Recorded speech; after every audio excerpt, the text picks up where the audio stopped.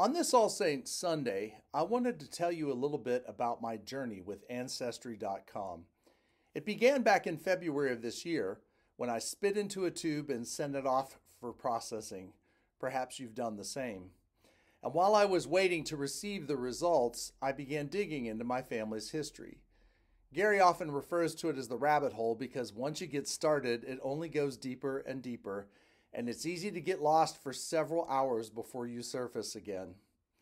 And there were a lot of things I already knew about my ancestors based on my family stories that I heard growing up and the handwritten data I already possessed. But wow, there were a few big surprises along the way. For instance, I was always told that my ethnicity was 75% German, with the other 25% being split between Polish and Austrian. I thought my dad's side was pure German when, surprise, surprise, my great grandfather John Sloan entered the picture. Oh, yes, John Sloan.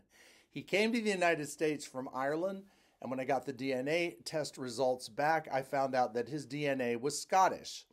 And I have never heard of this man before in my life. My dad never mentioned him, and this was his grandfather. Needless to say, this past St. Patrick's Day was celebrated with gusto. I also discovered that my great grandmother and grandfather on my mother's side, Leon and Mary Petrusa, were from what was then called Galicia, which is now southeastern Poland and western Ukraine. According to a census form they filled out, they said their native language was Ukrainian, which was a total surprise to both me and my mother. We always thought they spoke Polish.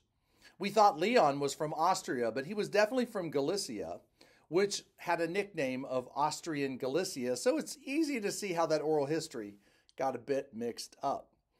My newly discovered family ties to Ukraine only strengthened my sense of solidarity and kinship with the Ukrainian people this year.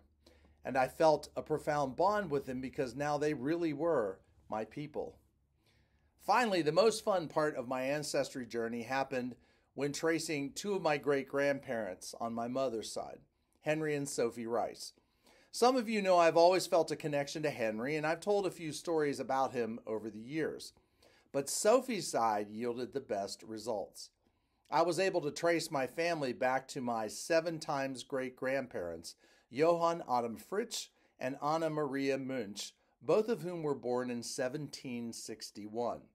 They were baptized, married, and buried in a small rural town called Bayenheim, and the entire family line was tied to the church that was in Bayenheim all the way up through my 3x great grandmother, Sophia Goldstrom, and my 2x great grandmother, Margaret Pearl, when that family immigrated to America in 1853. And the search also yielded photos of both of those people, which was amazing and such a real treasure to have those. And this summer, while in Germany, Gary and I actually got to visit Bayenheim and we walked the hallowed grounds of both the church and the city. And needless to say, that was a really profound experience for me. And I share this with you on All Saints Sunday because this day of the church year has always been my favorite outside of Christmas and Easter. And some of you might think that's strange since All Saints Sunday tends to make some people feel very sad. And this is understandable, especially if we've lost a loved one recently. However, the power of this day is that it reminds us that the ties which bind us to these people are never truly broken. Our connection to those whom St. Paul called the great cloud of witnesses is quite profound when we think about it. It connects us not only to our blood or adopted kin, it also connects us with all the saints of every time and every place. And wow, that'll blow your mind when you really think about it. And it connects us to the saints whose pictures are going to be on the table at the church this morning. And we may or may not know who those people are, and I've tried to include a couple photos in the video for you to be able to see. But their love and their faith is the foundation upon which we built this faith community and this church building. They believed in abiding Savior in both good times and in bad. They never gave up on the dream God planted in their hearts and it was their dream that brought me to all of you. I hope you'll join me this morning in giving thanks to these dearly departed saints. I know somehow they are still cheering us on. And if we listen closely, we can hear them say, We love you. We believe in you. Be faithful to the vision God has planted in your hearts and carry abiding Savior into a new and bright future. We've passed the torch on to you. So run the race, my friends, and run it well. To give you a Bible reference for this sentiment, St. Paul stated it beautifully in Hebrews 12. Therefore, since we are surrounded by so great a cloud of witnesses, let us also lay aside every weight and the sin that clings so closely. And let us run with perseverance the race that is set before us, looking to Jesus, the pioneer and perfecter of our faith. And so, our connection to these saints, whose pictures will be on the center of the table, is very real and visceral. But we are also connected to people whose pictures other folks brought with them to church this morning. Some people wrote their names on place cards or lit a candle in their honor at a candle lighting station that we have set up. And those people are here to cheer us on as well.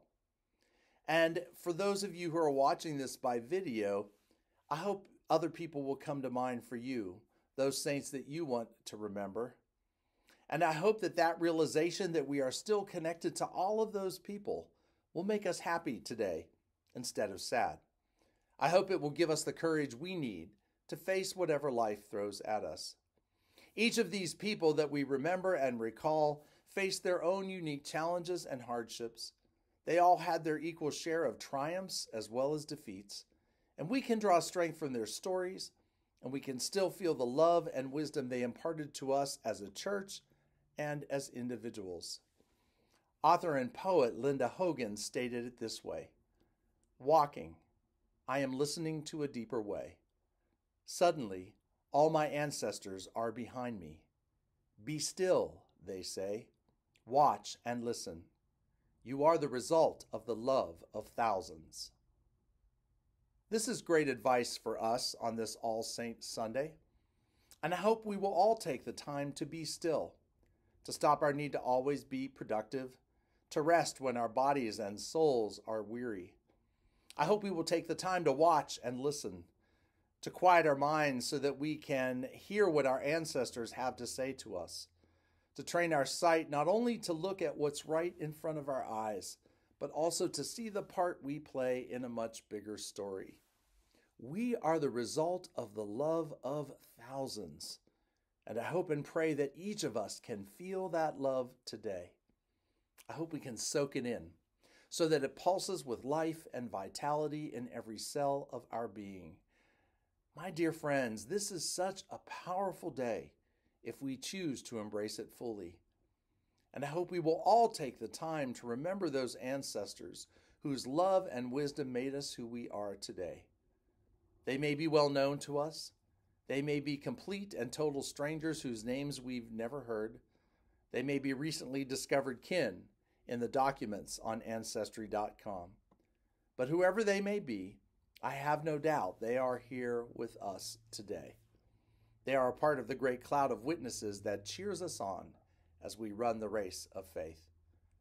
Let us give thanks for each and every one of them, and may their love and wisdom give us the strength and courage we need to face whatever challenges life throws at us. Amen.